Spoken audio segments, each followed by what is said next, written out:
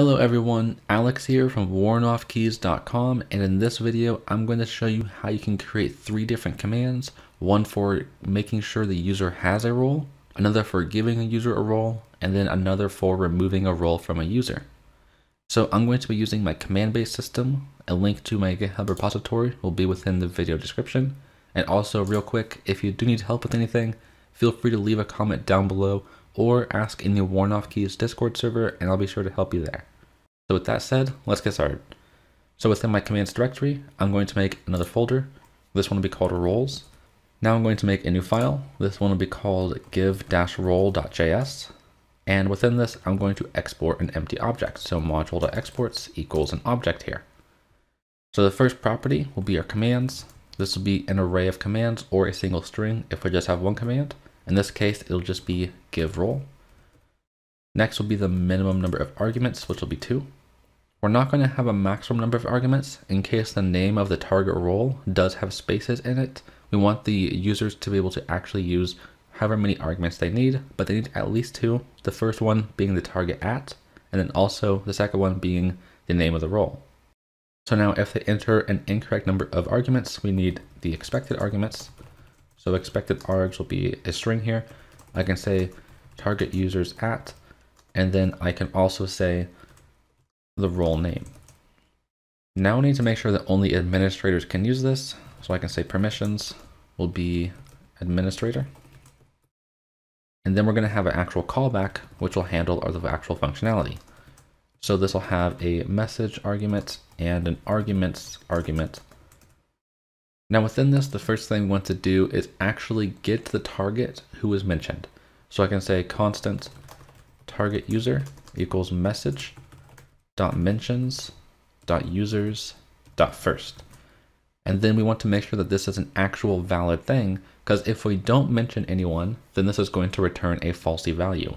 So I can say if not target user, I can then complain to the person who sent the command. So message dot reply, please specify someone to give a role to. And then I can return. And now this is going to make sure that we actually tag someone. So after this if statement, because we're returning here on line 10, we know that this user actually does exist. Okay, so now we're going to want to remove that target user's at from the actual message. And so I can say arguments.shift, which is going to remove the very first element of the arguments array.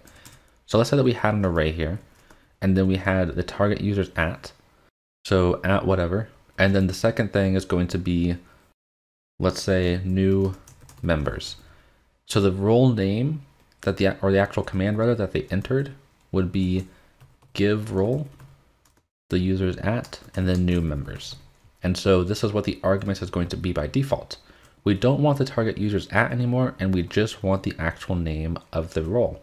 So the shift method that we're using on line 16 at the moment essentially just gets rid of the first element, leaving us with just an array of the actual name of the role.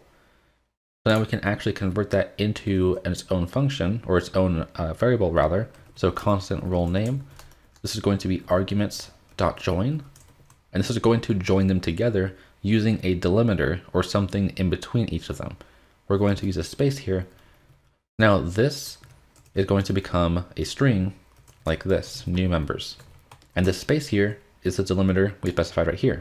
If we were to use a hash symbol, for example, just hypothetically, the string would then become this.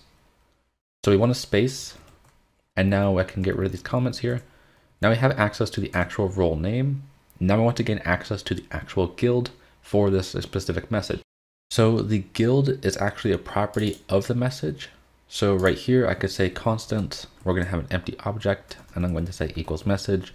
Now within this empty object, I'm going to say guild, and this is going to destructure the property of guild from the message object.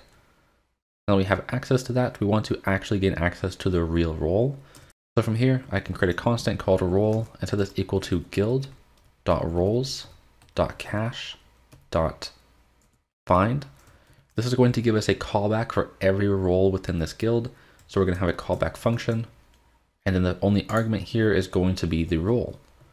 So now within here, we're going to return something that is either true or false. And if it's true, it is then going to stop looping through all the roles and it is going to essentially return that into our role variable right here. And so we want to basically return something that'll make sure that we know that this matches. So I could say return role.name is exactly equal to role name.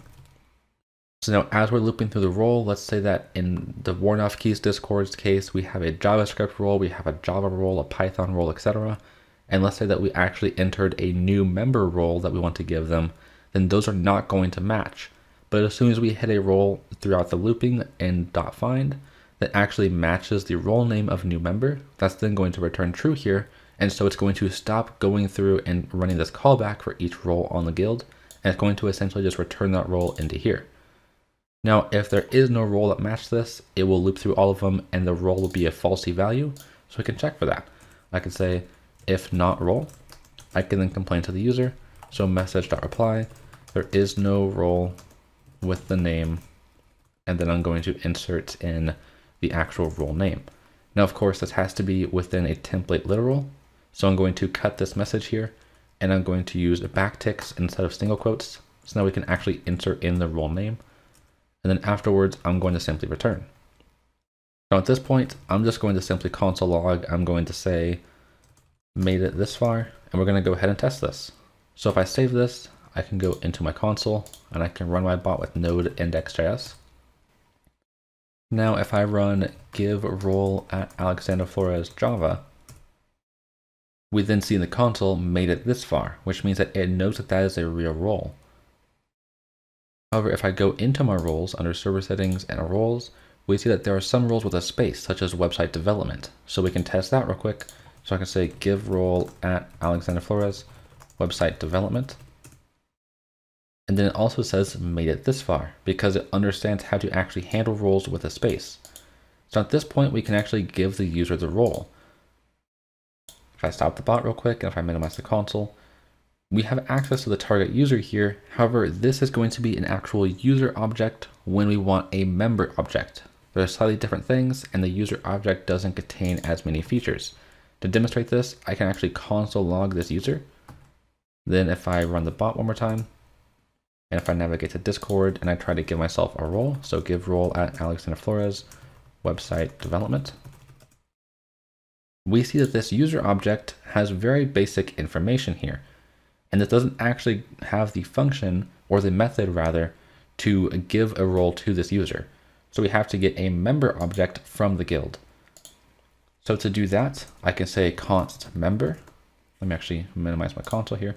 So constant member equals guild.members.cache.get. Now dot .get is going to essentially return something based off of the ID. So if I look inside of my console, we see that ID is a property of this object. So I can access that. So I can say target user.id. And then I can console log a member here, and we should see a very different object. So if I save this, going into my console, I can return the bot, Keep in mind there's probably around like less than 10 properties here, but if I actually run this and we fetch the actual member within Discord, so give role at Alexander Flores website development, we then see a much larger object. And this is going to contain the methods that we need to actually check the certain roles.